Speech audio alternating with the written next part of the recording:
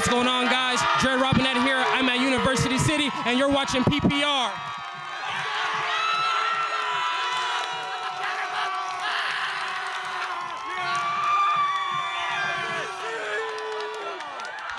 What's going on, guys? Week three, we're in University City as they take on Southwest El Centro.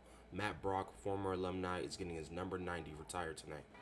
First drive, and UC's Aiden Lockett would waste no time as he picks the ball off. Next drive, and Samuel Cooper would pass to Caden Dawson as he takes it 51 yards to the house for a score, 14-0 University City. Next drive, Southwest punting, and UC's Ikaika Bell will take this down the sideline for 92 yards to the house, making the score 21-0 UC.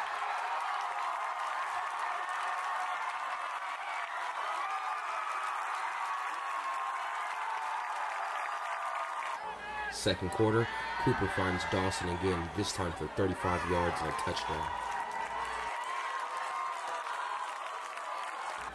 Third quarter, and Samuel Cooper completes the hat trick as this time he goes 60 yards with the catch and score. He now has one receiving, one passing, and one rushing touchdown in this one. This one will be a blowout as UC wins 75 to 6. I caught up with Matt before the game, and this is what he had to say. What does University City mean to you as the, high school in the community? Well, University City was really the beginning of uh, my whole career through college and through the NFL.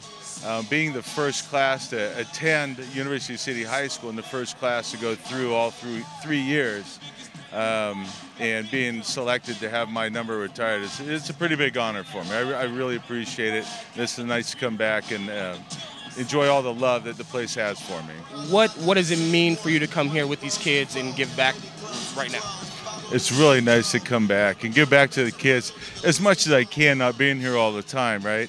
Uh, I coach high school football up in Portland, Oregon right now, and I just understand how, how much it means to kids to have a mentor, to have someone they can look up to, and to like try to attain that goal, that it's possible for where you're at, and just, you know, maybe spread some words of uh, wisdom you know, get them a little dedicated, and uh, I think they'll be on their way. It's good to start a tradition.